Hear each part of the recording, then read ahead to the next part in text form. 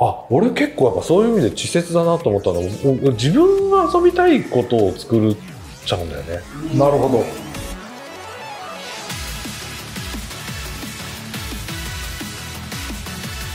だから僕もともとあのゲームを遊んで暮らせればいいなっていう発想から入っちゃってるんで。でもまあそれは素直なゲームを作る原動力ですよね。ああそうです。だから自分で作ってみんなで遊びたいんですもちろんそれが多数派だと思います。やっぱそうですよね。それはそうです、はい。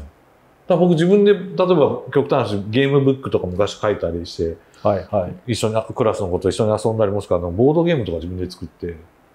自分はねあの例えばさっきの落ち物ゲームとか大の苦手なんですよ。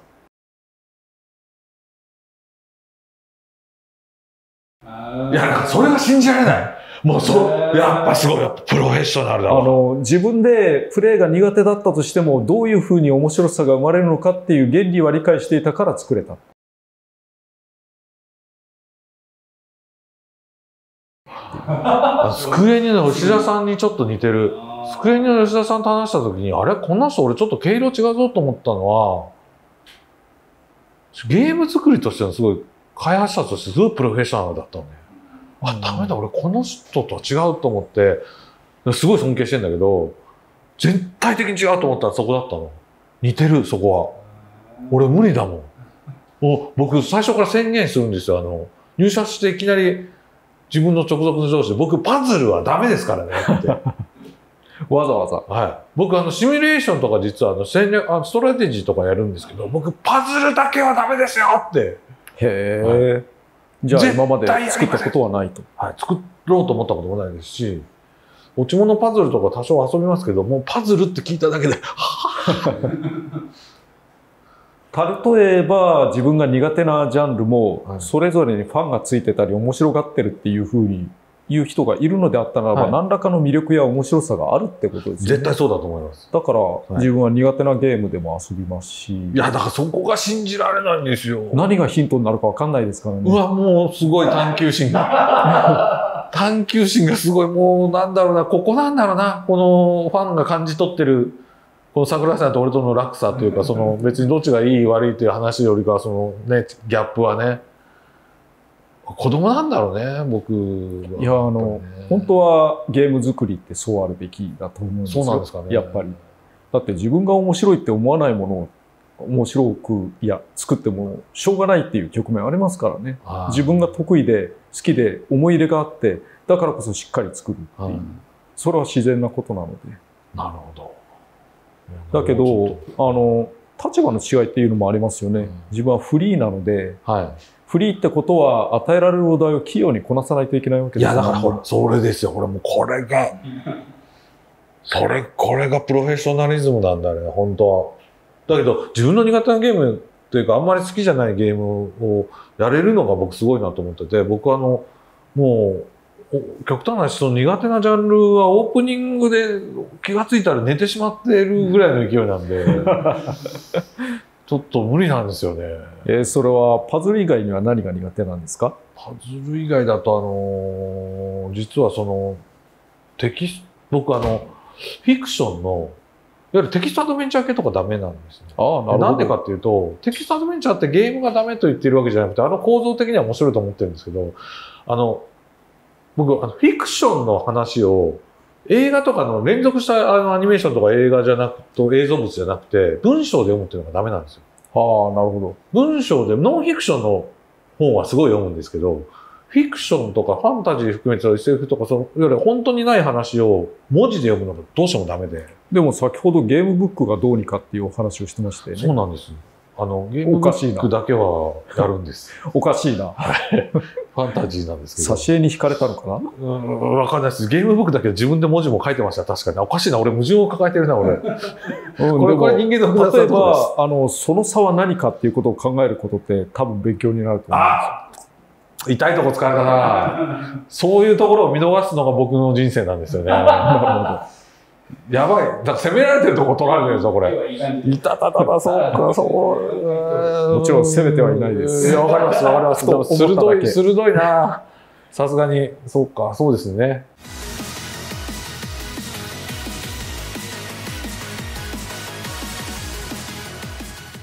というわけで、事前にですね、実はツイッターであの、もし桜井さんに質問できるとしたら、みんなだったら何を聞きますか？という質問をしてました。ですごい数が来てしまって、正直ええ全部はもちろん聞けない。結構びっくりしましたね。あの、私もちょっとは拝見したんですけど、なんか特に海外の人がシンパルテナの話してる率多いな。多いでかったです。まあちょっと具体的なタイトルとかちょっとね、あれだと、あとカービィってキーワードもいっぱい出てきましたし、はい。ら割と、割とあの桜井さんの体調を気遣ってる人が多かったんですよ。うん。はいなんか、そうですね。はい。それは割と大丈夫ですよって言っといた方がいいような気がするんですけど。大丈夫ですよ。大大丈夫ですか？本当に。あの、今も言われてるんですけど、肩の故障というのをしていた時期があの、あって、痛くなるやつですよね。ええそれはだいぶ前だったけれども、はいもう治ってます。あの、いわゆる五十肩みたいなものになる時期ではあるんですが、はいは五十肩って、あの、なんかこういう肩の痛みで原因のないものを言うらしいんですねい。。はいはい自分はあの、原因があって、はい。はい。石灰沈着型腱板炎っていう。わかります。あの、はいなぜかというと、私の妻が同じ病気に、あ、そうだったんですか。はいえっ、と、今年かかりました。初めて。今年？はい。今年は、で、これは何だろうって言って、最初はまさに痛めたんじゃないかみたいな、だったんですけど、全く桜井さんと一緒だったんです。なるほで、あ、あれ原因不明らしいですね。ど。うん、よくわかんないんですよね。構造は分かっ、こう、こうなるとこうなるってことは、原理は分かってるけど、その、いわゆる原因が分からないらしいですよね。まあ、とにかく、レントゲンを取ったら、なんか石灰質が確かにビシッ、米粒状のものがあらったり、しいですよね。手術で取れないのかなと思ったら、それはやめた方がいいと言われるなん。か自然に、えー、なくなるらしいですよね。その自然になくなるのが結構かかりましたけどね。ああ、そうですか。もう、あの、辛い時にはブロック注射まであして。そうですよね。私の妻は、あの、首に出ちゃったんで、あ、そうですか。それは大変だ。こんな、モビルスーツみたいになってます。こ動かないみたいな。いや、あ本当に、本当に多かったんですよ。桜井さんの体調を気遣う系の質問が。皆様ありがとうございます。はいそして申し訳ありません。これは大丈夫です。一番多かったんじゃないかな。ななんか、質問をって言ってんのに、桜井さんの体調について聞いてくれっていうのが、割と多かったですね。これちょっと驚きましたね。今の疾患で一番悩ませてるのはドライアイですね。あー、ドライアイはこの業界にも多いですね。はい。まあ、しょうがないですけど、あ目薬やっぱりさしてるってこと刺してますね。僕そういうのがないんですよね。僕肩も凝らないんです。あ、羨ましい。肩凝りますか？凝ります、凝ります。小野さんもすごい肩凝るって言ってて、僕肩凝りゼロなんです。あの、私は凝ってるんだけど自覚がないんですね。あ、あ、ってことはじゃあいいじゃないですか。いや、それが、ええあの、やっぱり苦しい時もあって、あ、急に来るんです。なんか重たいのは分かってるんだけど、それが別にあの苦であるというか、そのために何かしようという気が起こらなくて、マッサージに行くと、何ですかこれって言われる。あ、何ですか？あ、えそれは、生き量ですよ。え 違いますね。幽幽霊です。違うのかな。いやー紅茶とコーヒーどっちが好きですか？うん、両方好きですよ。意外。意外だと。で、あとね、これ面白かったですよ。好きな帽子の種類っていうのを聞いてくれた人がいます。ああ、自分は帽子は長年あれですね、つば広のハンチングを被ってますね。ハンチングが好きな理由は何ですか？その探偵に憧れるとかそういう。いや、あの、実は自分は頭の径が大きいんですね。あ、そうなんですか？62、3あるんです。ああ、大きい。なのでえ、、本当ですか？はい。あの、普通の帽子が実は入らない。はあ、意外と、俺の方がずどう見ても大きく見えるけど、ど。俺はあの頭が髪の毛のせいでブロッコリーみたいにこうなってるね。で、えっ、と、ちょっと今の帽子を被ってみますね。はいはいはい、ぜひぜひ。今愛用してるのがこういう帽子なんですけど。しかもそれを被るとより小さく見えますね。あの、意外とこうやって普通に立つと、はい頭でかくて、ええっ、と、ちょっと細めなので、漫画体型みたいなんであ、すよ、そうなんですね。えそう意外だと。あ、だからそれでそういうスタイルを自分で。えそもそもが帽子の選択肢って少ないわけですそうよね。なんですね。その中で、えっ、と、こういうつば広のやつっていうのが、はいここ広いんですけど、はい。他になかなかなくて、なるほど。今もこれも直しながら何年も使ってるっていうか。意外だ。僕は帽子かぶんないんですよ。あの、なぜかというと、ちょっと、日本でいうところのちょ、ちょっといわゆる、あ犯罪者っぽくなるんですね。ちょ、桜井さんちょっとお借りしていいですか？あ、はいはい。ほら、だって、見た今、桜井さんのあの、はってなっちゃったでしょ。やっぱり、俺、鏡見てるの分かんないけど、変。やっぱそうだよね。いや、でも、おお、そうなんだよ。いやーあの、泥棒とは全然思わないんですけど、ええなんかあの、なんだこれはってバック感じですかボーンが見えてくる。ですよね。何らかのバックボーンが見えてきますねそうなんで。だから被らないようにしてるんです。なるほど。そうなんですよね。面白い。面白いですね。ストレスをどうやって解消してるのかっていう。ストレスは、まあ、なぜ溜まってかというとねく一方ですよね。ストレスが多いんじゃないかってみんなが思ってるからこの質問が来るんですよ。あの、小野さんと僕はいにこの質問来たことないですよ。なるほど。はいや、もちろん悩みながら作ってるようなところもあるし、ストレスは溜まりますけど、えどちらかというと自分は我慢をする方なんですよね。あの、人に相談したりとか絶対しないしそう。なんだ。そこはイメージ通りですね。だけど、あれですね。運動はしなきゃダメですね。え、エアロバイク、エアロバイク以外にもいろいろやりますけどエ、アロバイクをなぜかやってるって知ってる人がすごいいっぱいいました。あの、自分の場合はエアロバイクしながらゲームやりながら横のテレビも見るっていうような生活をそれをやってるっていう。みんな YouTube で配信してほしいそうです。いや、嫌です。いや、まあそうでしょうね。それを配信してくれって人が不思議なことに結構いて、あれびっくりした。何が楽しくて配信をしなければいけないんですなか僕もそれを見たがる人ってどういう人なんだろうなって、すごい、あの、本当そうなの。桜井さんって本当にミステリアスなんだよね。プライベートが全く見えない方なので、だけど運動でやっぱり気をつけなきゃいけないなと思って、えっ、と、ダンベルを持ち上げてるんですね。あ、あのダンベルやるんですか？片手18キロぐらいのやつを。そこそこ重いですよ。こう上に上げたり。それを酔って持ち上げた瞬間に腰グキってきたんですよ、ああ、腕じゃなくて、腰 腰が腰が来るわけですね。ぎっくりかなって思ってそーっと下ろしたりして 様子見てたんですけど、まあ大丈夫だったんですけど、もしもここで腰をやって何年も響くっていうようなことになったはいらえらいことになるんで、ど。そうですよね。いや、気をつけてください、本当に。気をつけてます。気をつけてます。っていうか気をつけます。僕はあの、さっき言ったように、僕の原動力は、ひたすらゲームを本当に僕遊びたいので、ないものは作るしかない、もしくは、あの、この業界にいれば遊べるだろうと思っているっていうところなんですやっぱ、り、あの、根本的なお話というか、はい特にテクニカルでもない、何でもない根本的な話としては、ええやっぱりユーザーに喜んでもらいたいっていう以上のものはないんじゃないですああ、でか。もそれはわかりますけどね。あの、常に、ええというか、あの、ほぼ多くの仕事っていうのは、それを受ける人がどう考えるかっていうようなことに専念しながら作ってますね。なるほど、なるほど。だからサプライズ多いですもんね、意外と。企画書とかも、あの、それを見た人が、えっ、と、これからゲームを作るのにどのような情報が必要でどうなのかっていうようなことを考えながら作ってるし、その文章を作ったり絵を作ったりしてるような最中も、見ている側がどう感じるのかっていうことをよく思います、なるね。ほど。それが原動力ですね。それが、まあ、あの、もちろん、コンピューターを相手にしてるわけで、はいコンピューターって何の融通も効かないやつですから、はあの、うまくいかないことだってあるし、いはい。いやー、融通反省するところだってあるし、なんだけれども、基本的には、えっ、と、ゲーム作りは最終的に届くユーザーのことを考えるべきで。そうしている。という、そのためにはいろいろ細かいことも必要だっていうことですねって。ことですよね。ええその細かさのレベルがちょっと僕らと違うんだろうな。そんなことないですよ。平均睡眠時間何時間ぐらいですか？6時間ですね。あ、あんま変わんない。あ同じ。うん。あでも俺割とショートスリーパーな方なんで、まあ毎日別に4時間ぐらいでもいい方ではあるんだ何時ぐらいに昨年寝るんですか何時ぐらいにあ、えーっとですね、2時半ね、8時半起きぐらいが多いですね。2時半、ああ、まあ。さんもちょっと。いや、俺、同じだったんだけど、あの、子供のせいで早、あの、早く寝なきゃいけなくなっちゃったんで、ちょっとペースが狂いましたね。僕、一個すごいわかりやすいのが、は何個も見たんですい。けど、はい。若さの秘訣って何ですか？それ聞いてる人多かった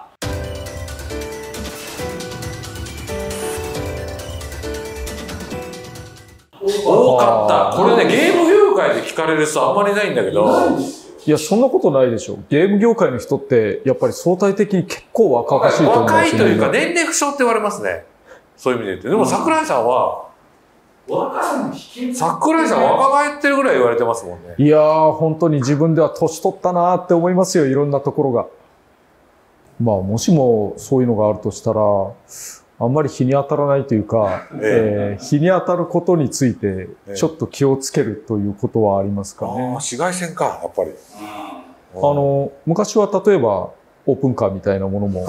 乗ってたりはしましたけど、だけれど、最近はそういうのは避けるようになりましたね。なるほど。僕なんて15歳からあのヨット乗ってたんで、上からとあの海面で跳ね返った紫外線とずっと紫外線を浴び続けてるんで、あ、あとね、これちょっと面白い質問だったんですけど、えっと、僕、お互いの第一印象っていうのを聞いてきてる人がいるんですよ。なるほど。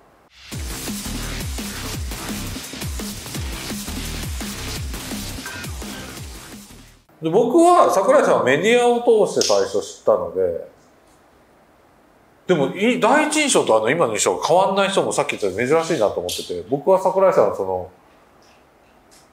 最初から見た時に何だろうな、修行僧じゃないけど、本当に修修行僧。行僧じゃないけど、この人プロフェッショナルななんだろうなって、ちゃんと言えてない。この人プロフェッショナルなんだろうなっていう印象うんなるほど。のまま申し訳ないんですけど、今もあんま変わってないです私は原田さんの印象というと、なんて言うんでしょうはいね。もともと、えっ、と、雑誌とかメディアとか、よ。ええーインタビューとか受けられていたわけで、はいはいはいそちらの方から知ったというのが先ですけど、えはまあ、それを、えっ、と、最初に思ったこととか、今思ってることとかを統括して言うい。なら、はいはいはい。すっごく熱心に分析しますよね。そうなのかそして、あの、ユーザーとかについても、かなり熱心に話を仕掛けるというか、なはい。それは、何においても熱量が大きい人だなとは思ってました。そうですね。熱量はあるかもしれないですね。うん、あの、来るメールも結構ズワッと長かったりしますもんね。はい。それは小野さんにも言われましたね。長っって。いや、あの、長いのが決して悪いことではなくて、自分はあの、一言で熱意だと思ってまああ、なるほど。す。は僕あれ、もう手が動いちゃうんです。でもう言葉打ってるより先に気持ちが いっちゃうから、見直さずに送信しちゃうんです。い。なるほど。ああ、自分も見直さないこと多いなあ、本当ですか？あの、スピーディーに上げなければいけないので、ああ、なるほとにかく監修とかは何十通とかも溜まってると、すぐにこなせるまあ、すぐに返すってことが大事なんで、ダラララララララで5時。ど。ありますね。もしゲームハードをデザインするとしたら、デザインっていうの意味が多分あの外見って意味じゃないんでしょうけど、どんなゲームハードを、になるんでしょうかと、桜井さんが作った。うんうん例えば、脳で意識するだけで動くとか、まあ予算とか実現可能かどうかはちょっと置いといて、置いといてくださいと。で、それで置いといた場合に、桜井さんだったらどんなゲームハードを作りますかと。これも僕にも聞かれてるんですけど、なぜか。あの、うんそれは、どうなんでしょうね。あの、言える範囲というか。なるほど。いや、あの、そういう質問ですから、はいあんまり真面目に答えないようにすると、はい。脳でコントロールできると言うんだったら、脳で考えただけでゲームができるのが一番ですね。携帯できますからね。携帯っていうか、一番楽しいですからね。はい。うん。まあ、あの、自分はゲームを作るのがこんなに難しくって大変なことであるっていうことがやっぱり何より問題だと思っているので、とりあえずゲームを遊ぶことということよりも、自分が考えたこと、思ったことをわーっとすぐに 3D ポリゴンでもいいし、ゲはいーム内容そのものでもいいけど、とにかく、えっ、と、コンピューターに蓄積しなければいけないことというのをかなり省いて出せるようにしたい。っていうことが実現できたら、それ絶対一番いいですよね。ええ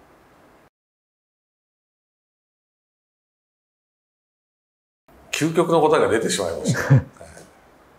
とにかく、例えば 3D デザイナーとかも自分が思い描いてる 3D のものがあって、それをマウスというようなものを使って画面の中に落とし込むっていうことにものすごく心を砕いてるというか、そうですね。頑張ってるわけですよはいね。その手間、なるべくなくなんないかなって、大昔から思ってまなす。くなってはきてるんですけど、なかなか取れない衝撃でもありますね。確かにそれが、そういうハードが一番できればいいですね。だからやっぱ作ってる側の視点になっちゃうんですよね。ゲームディレクターやってるあるじゃないですか、長く。まあそうですで、ね。ゲームディレクターとゲームプロデューサーの違いというか、いわゆるゲームプロデューサーってどういう存在か、どういうものなのかっていうのは、割と世の中的にはやっぱ、ちゃんと、ちゃんとっていうか、これいっぱいいろんな形があるんで、どれっては言えないんですけど、桜井さんから見た時のゲームディレクターとゲームプロデューサーの違いとか、もしくはゲームプロデューサーってどういう存在に見えてるかとか、そこはちょっと聞きたいですね。っていうのが質問があったんですよ。はい。わかりますはい。それ、わかりにくいですもんね、外から見わかりて。にくいんですよ。プロデューサーといっても、ディレクター前としてインタビューに受けてる人もいるし、ディレクターなのに表に全然出てこない人もいる。し、はい。あの、簡単に言えば、ディレクターは文字通り監督で、えっ、と、ゲームの中身を全て考え作り、はいえっ、と、いろいろなスタッフに指示をする人で、プロデューサーというのは、えっ、と、そのチームを運営するためのお金やマネジメントをする人っていうこと金が鉄則なんですけど、はいこれ、どうやらメーカーによって全然言い方が違うらしいっていうのも、違うんですよ。びっくりするほど違いますよね。はい。いや当然ディレクターなんだから、モデルも見る、モーションも見る、エフェクトも見る、すべて見るはいっていうようなのが間違いないし、あの自分で、えっ、と、企画を考えるし、えっ、と、操作系やルールや、えっ、と、いろいろなモードや、そういうようなものを提供するっていうのがほとんどかなと思ってたんですけど、ディレクターだけど、一部しかやってないとか。プロデュースサーだけど、ディレクター的なこともやる。わかります。僕、プロデューサーなのに、モデルとかビ音楽とかめちゃめちゃ細かいところに見てます。うんはなんかあのそういうところがやっぱり今の質問に代表されるような実態を分かりにくくしているっていうことの一つではあるんだろうなと思いますね。うんだから知りたいんでしょうね、これね。まああのいろいろな人が、えー自分の考えで何かをやろうとするとそれ先導を多くして何とやらと言いまして、はい、はい、はい。あのいろいろ迷走しがちなんですよね。それを一つの方向にここを進めっていう艦長の役がやっぱりディレクターだとディレクターですよね。プロデューサーが、いや、こっちに行くべきでしょうっていうふうにするのは本来はするべきではない。おっしゃる通りだと思いえます。なるほど。桜井さんの夢って何ですかっていう質問が何個かあったんですよ、これ。えうん、それは答えにならないですね。なんないですよね、ええ夢って。僕も確かに原田さんの夢って何ですかって何だっけって感じ。パイロットになりたいですとかそういうやつか。そう今更？今からですか？幼い頃ってどうだったんですか原田さんのあ、僕。僕いっぱい変わってるんで、夢が。はい僕はあの、ある時に急にゲーム業界行きたいになったんですよ。自分は具体的なもんはなかったですね。うんそういう小学生とかっていうあそうなんですね。僕、小学校の時は、科学者とか、えあとは、お父さんがやっぱ消防だったんで、火消す人とか。ちょっとね、あの、そういう質問されると困っちゃう子でしたね。はああ、そうなんです。と言われましてもっていう感じで。あ割とその頃から、結構、こう、冷静な感じで。いやー、冷静かどうかはわかんない。何も考えてなかっただけかもしれないですけど、そんなこと聞いてどうすんのって思う。ああ、でも、まあ確かにそうですよね。ええお待たせしました次はマダイの塩になります。はい、ありがとうございます。どうぞ召し上がってください。美味しいんでしょうね。だといいですが。うん、やっぱりうまいです。あー、もうあざっ美味しいですよね。すということです。これも質問で来てたんですけどね。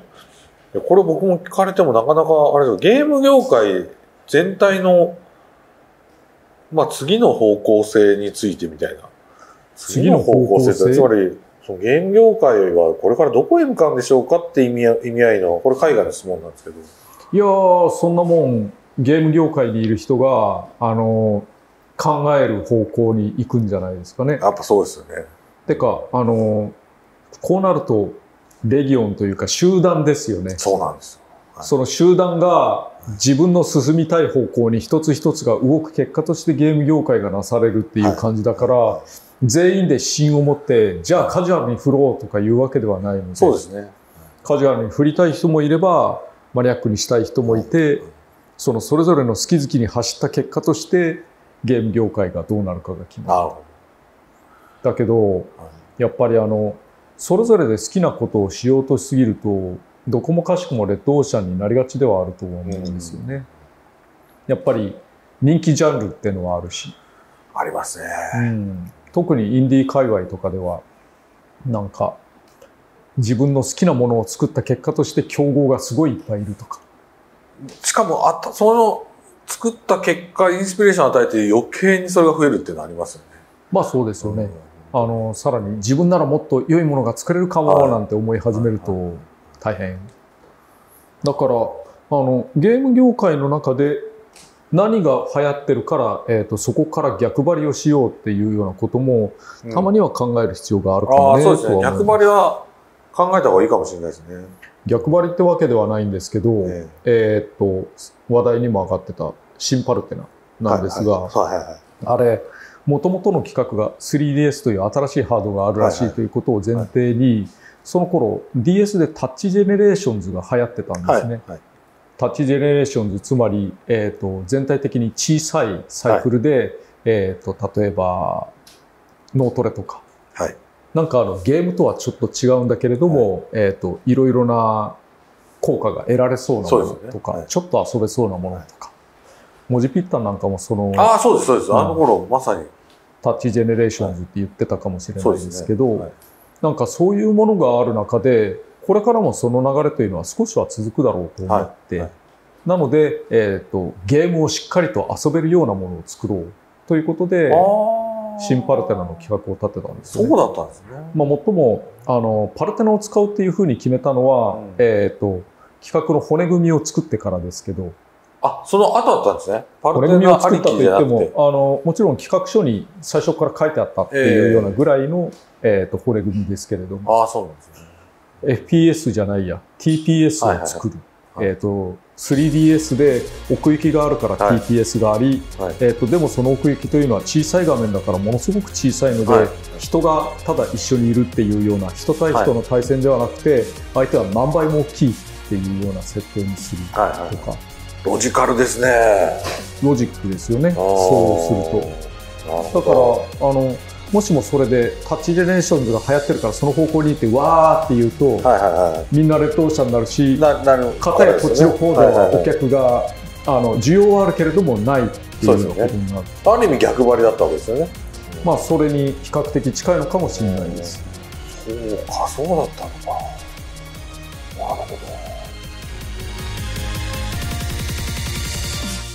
パンケーキとワッフルどっちが好きですかって質問が来てたんですよ。うん、パンケーキですかね。そうですか。、いやあの、実は両方好きですけど。僕も両方好きなんですけど。